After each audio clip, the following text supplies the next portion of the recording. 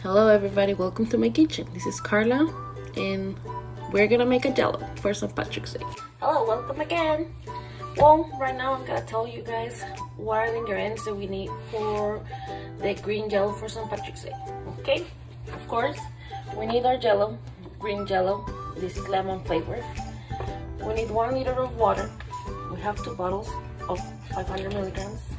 We need our container where we get up with our jello when it's done we need a spoon and our butter.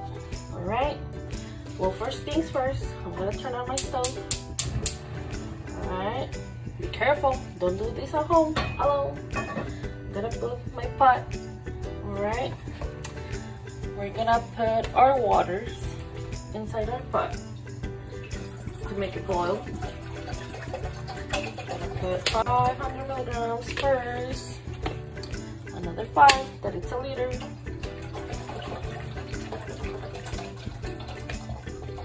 Right, you have to let it boil. Let it boil, let it boil. We're gonna be opening our jello. I love this jello. It's our new jello for St. Patrick's. Remember, St. Patrick's Day is coming, right?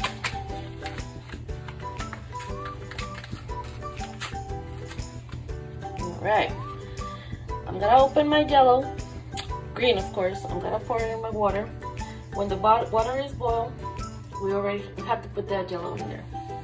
Of course, I'm gonna show you guys. It's green. All right. We're gonna get all the powder inside the water. We gotta get a spoon and we're gonna shake it. Shake it, shake it we need to shake it and shake it so the, the yellow don't, doesn't stick on the pot. Alright. Have to let it, let it do it. Alright. It's boiling, remember. Be careful. Leave the fire. That's why we have to be all the time with somebody that can take care of us. Alright. Okay. Alright when it's already done, we're gonna put this spoon on the side. We're gonna get our container. All right. We're gonna turn on the stove. And then you guys can see it's green. So we're gonna put it on our container. Okay, just be careful again. Like I said, this is hot. Here's our jello. Green jello for St. Patrick's Day. Now we have to put it in the refrigerator for two hours.